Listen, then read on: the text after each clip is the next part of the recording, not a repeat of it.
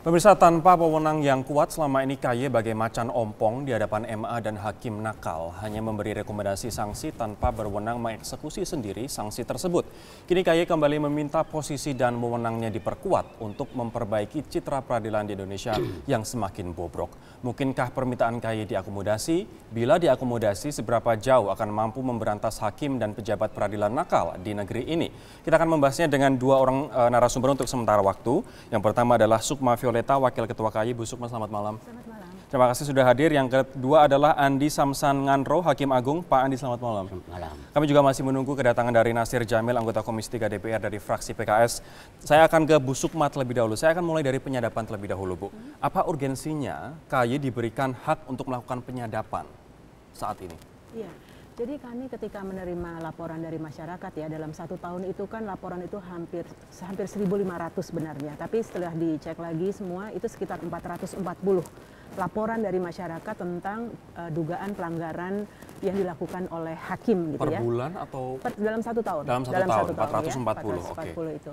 Nah kami melihat bahwa kalau melihat dari proses di pengadilannya itu banyak hal-hal yang janggal begitu. Hmm. Akan tetapi Komisi Yudisial karena kewenangannya ada di ranah perilaku hakim etika Etik. gitu ya sehingga yang terkait dengan teknis yudisial itu sebenarnya tidak menjadi concern kami karena memang bukan merupakan kewenangannya tapi kami tahu ini sebenarnya ada semacam modus begitu ya. hmm. ya misalnya uh, misalnya apa ya eh, dalil-dalil yang diterima oleh hakim atau bukti-bukti yang diterima hanya salah satu pihak saja. Hmm. Padahal harusnya yang namanya fairness itu adalah menerima dalil-dalil bukan berarti harus menerima dua-duanya, tapi kalau menerima yang A yang yang B tidak diterima karena apa okay. begitu ya. Itu sering kali tidak tidak ada uh, apa tidak ada uh, respon terhadap yang apa yang pihak yang satunya. Jadi yang terlihat adalah semua dalil-dalil satu pihak yang diterima. Itu adalah dari sisi dalil, tapi dari sisi laporan 440 per tahun ini adakah uh, laporan itu yang bisa diverifikasi oleh KY bahwa betul hakim ini misalnya korup, hakim ini misalnya menerima suap begitu?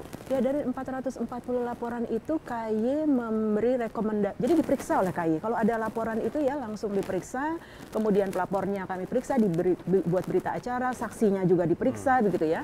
Sehingga terlihat kalau ada pelapor yang berbohong sebenarnya atau hanya sakit hati karena apa hmm. putusannya tidak sesuai dengan dengan yang dia inginkan gitu, itu akan terlihat. Dan kemudian dibawa ke panel, ketemu dengan kami komisioner, kami akan melihat apakah ini sebenarnya dugaan pelanggarannya ada atau hmm. ya cuma laporan orang yang sakit hati saja. Setelah itu kita kita periksa ininya apa uh, terlapornya dalam hal ini hakimnya. Okay. Kemudian dibuat berita acaranya. Belum lagi kita punya unit investigasi. Hmm. Unit investigasi itu seperti seperti intelijen lah. Pergi ke satu ke ke tempat apa di target operasi itu tapi tidak okay. menuju kepada target tersebut. Okay. Nah, artinya pemeriksaan itu serius sekali Mas Rory, hmm. serius sekali. Dari 440 itu sekitar 105 di antaranya kami memberikan rekomendasi pengenaan sanksi setelah series of ini ya apa 105 rekomendasi sanksi ternyata yang dijalankan MA berapa Bu? Uh, 12. Hanya 12 ya. dari 105 rekomendasi sanksi. 12 uh, eh, yang dua lagi di, di, dijalankan tapi diturunkan baik, jadi lebih baik, ringan. Baik, Oke, inilah alasan kemudian kenapa KY membutuhkan fungsi penyadapan itu ya. begitu ya. Kalau Pak Andi sendiri dari Mahkamah Agung, setuju tidak KY diberi fungsi penyadapan, Pak? Oh, jadi begini ya. Kalau bicara mengenai penyadapan, ini tujuannya tentu menjadi alat bukti ya, alat bukti, mm -hmm. salah satu alat bukti. Tetapi berbicara mengenai penyadapan itu itu merupakan uh, ranah penegak hukum. Ranah penegak ranah hukum. penegak hukum. Nah, sementara kita lihat di sini Komisi Yudisial itu bukan uh, sebagai uh, penegak hukum, bukan sebagai penyidik, tetapi dia adalah penegak daripada kode etik dan menjaga perilaku hakim. Hmm.